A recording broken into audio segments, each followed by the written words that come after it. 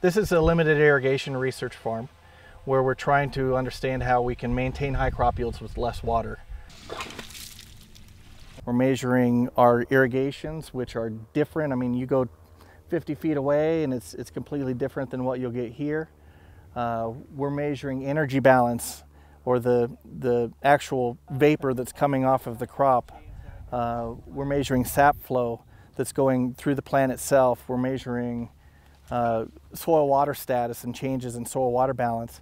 And then we're running things in the sky. We're running a UAV or, or what's commonly called a drone, which I think is about to take off right there, it sounds like. We put that up in the sky and we'll measure canopy cover and canopy temperature, uh, multispectral reflectance. Uh, so we're measuring a lot of different things that, that tell us uh, different parts of the story of how much water is being used. The more water your plant's going to use, the, the more yield you have. What we're trying to do is, is find a point above that where you're actually getting more yield per water used or more crop per drop.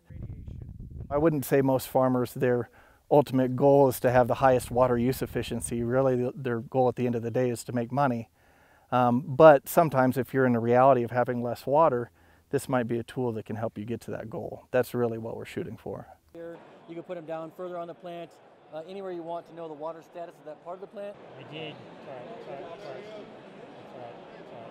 You can have too much water, right? And then you're just wasting it. Uh, and, and so you want to have just enough for it to be happy. But periodically, especially late in the season, you often want to give it uh, less water to stress it some so that it knows to respond and make more chemicals that increase the flavor of, of, the, of the grapes or the tomatoes. You put these sensors on here and you just say, what water potential do you want to maintain? And then the irrigation will do that no matter if you get a cloudy weekend or a hot spell coming through. Any climate change stuff, it, will automatically uh, adapt to. Clips and let it snap on there with the magnets